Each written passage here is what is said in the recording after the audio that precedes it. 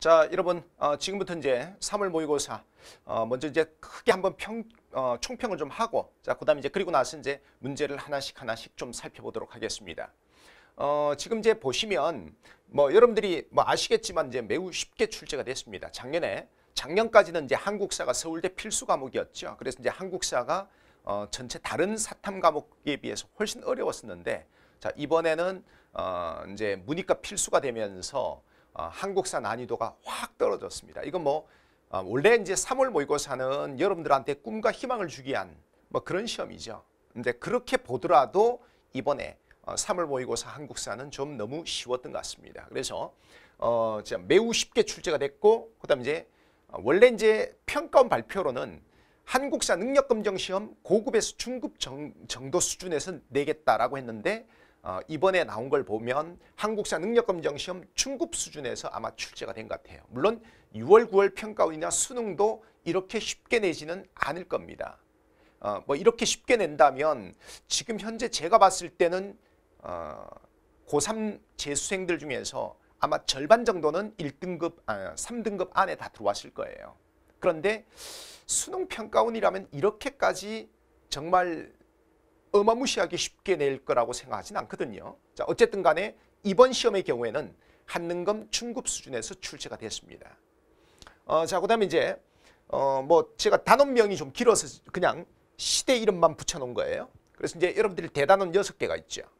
어, 선생님이 이제 수업 시간에 말씀드릴 때 뭐라고 했습니까? 어, 제가 이제 전근대사가 55%, 어, 그 다음에 근현대사가 45%. 이렇게 출제될 가능성이 높다라고 말씀드렸는데 이번에는 5대 5로 출제가 됐습니다. 전근대사가 어, 50%, 근현대사가 50% 이렇게 출제가 됐습니다. 어, 그 다음에 제가 이제 수업 시간에 여러분들한테 여러 번 말씀드렸죠. 평가원 내부에서 대단원 간 문항 비중이 다 있다고 정해져 있다고요. 그런데 이번의 경우에는 제가 335로 말씀드렸는데 어, 여기는 334가 나왔고요.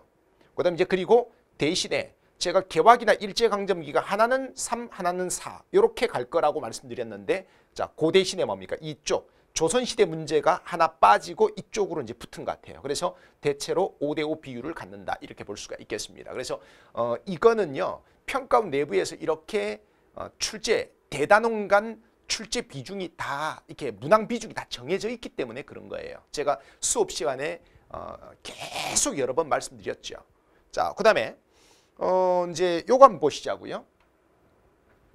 자, 여러분들이 이제 정답률이 좀 낮은 문제를 좀 분석을 해보면 정답률 60% 이하의 문제가 그래도 좀 어, 여러분들한테 체감적으로 조금 어려웠다 이렇게 볼 수가 있는데 자, 여러분 6번 문제가 이제 고리 경제정책인데 자, 뭐 이런 걸 틀린다는 것은 어, 쉽게 말하면 이제 내신으로도 한 번도 공부를 안 한 사람이 그만큼 많다는 거죠.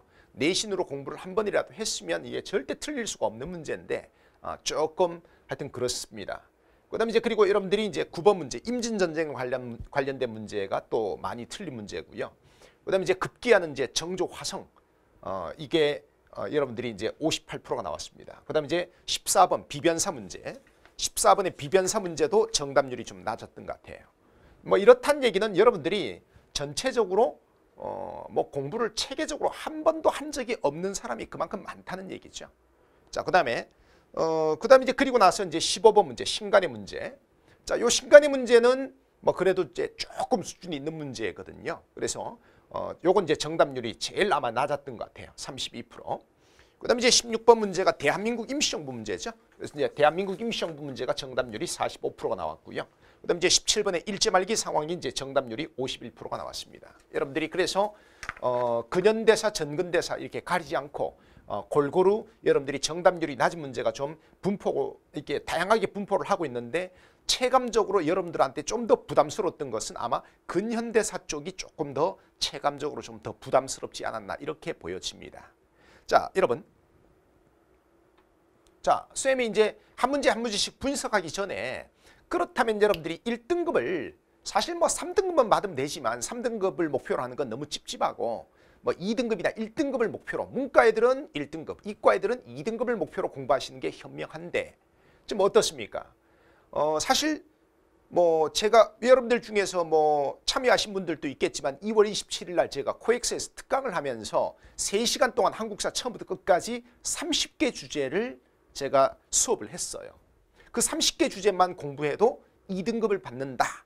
2등급은 충분히 받는다. 그런 컨셉으로 제가 수업을 했는데 그게 참여하신 분들은 아마 느끼셨을 거예요. 20문제 중에서 12문제가 그 30개 주제 중에서 12문제가 남았어요. 그대로. 그 다음에 그리고 제가 이 서브노트 제가 몇 천 부 지금 어 뭐 이게 이미 배포가 됐을 거예요. 서브노트 앞에 보면 제가 어 40개 주요 주제만 공부해도 1등급은 받는다 했는데 제가 세 보니까 20문제 중에 18문제가 이 40개 주제 안에 있더라고요. 자, 여러분 한국사는요. 제가 봤을 때는 물론 이거보다 좀 더 어렵게 나오겠지만 아무리 맨바닥이어도 정말 선생님 저 한국사 진짜 몰라요. 이런 사람들도 제가 봤을 때는 1등급 받으려면 딱 10시간만 투자하면 된다. 뭐 무료 강의를 듣든 유료 강의를 듣든 하, 처음부터 끝까지 한국사를 체계적으로 정리를 딱 한 번만 하면 진짜 500분만 투자를 하면 자, 요 서브노트로 500분만 딱 들으시면 돼요. 제가 그런 강의를 좀 앞으로 계속 만들 거예요. 지금 이번에 초스피드 개념은 요거 쳐- 요거 요걸로 수업해 갖고 1000분 동안 수업하는 거고요. 그 다음에 6월 평가원 앞두고 제가 500분짜리 그 다음에 이제 그 뒤에 300분짜리, 400분짜리 수업 제가 많이 만들 거예요. 아, 사실 500분만 딱 투자를 해도 충분히 1등급을 받을 수가 있다는 거죠. 이건 뭐 문제가 뭐 쉬운 정도가 아니라 어마무시하게 쉬운 거예요. 나라에서 여러분들 보고 정말 어 진짜 정부 당국자들이 정말 여러분들한테 오죽하면 여러분들이 오죽 한국사를 못하면 제발 이거라도 좀 해달라고 읍소를 하는 거죠. 문제가 너무 쉽습니다.